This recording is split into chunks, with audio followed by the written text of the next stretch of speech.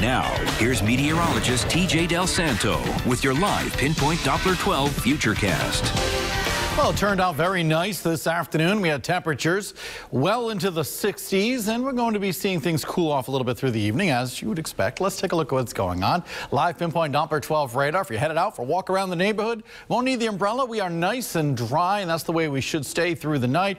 Our threat tracker for tonight, Wednesday, and Thursday, all low, although we are tracking some showers for Wednesday, and some of those showers may actually produce a little bit of hail, but nothing serious. Our hurricane barrier cam. We are looking at lots of sunshine down in Narragansett. We've got some clouds. We've also got a little bit of blue skies out there. Looks like a nice evening down there in Narragansett. 65 degrees on Route 2 in Warwick with a wind right now about 9 miles an hour. Temperatures are in the 60s in Smithfield and Providence, Newport, Charlestown. A little bit cooler in Westerly and Glocester right now in the upper 50s. Satellite radar picture showing uh, the showers from this morning long gone.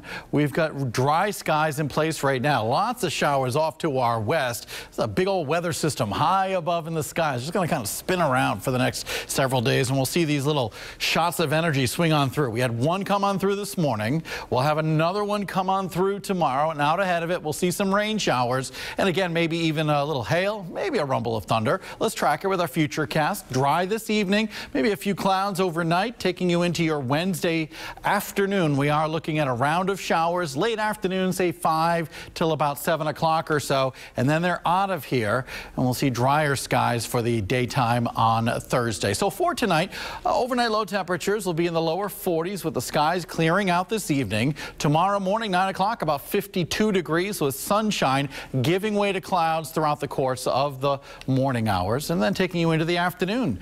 Clouds will be here. We'll have a few showers developing. Some small hail is possible as well, and the outside chance of a rumble of thunder. Here's your live pinpoint Doppler 12 seven-day Futurecast. Enjoy the mild temperatures tomorrow because it gets kind of chilly for a while. On Thursday, we're only going to start out in the 40s and only get into the lower 50s in the afternoon. And this is a slight chance of a quick shower on Thursday afternoon. But in general, Thursday looks dry. On Friday, we're looking at some more chilly weather. Saturday, starting out in the 30s and only ending up in the mid 50s in the afternoon. The average high for this time of year is about 61 degrees, so about 5 degrees degrees cooler than average. Staying kind of chilly for Sunday, but looks like it'll be dry.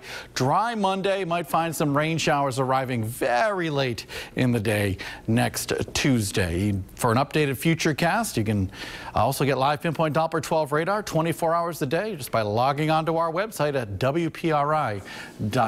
So we are looking at uh, more showers tomorrow. Not an all-day rain, though. All right, TJ, thank you. And more coverage you can count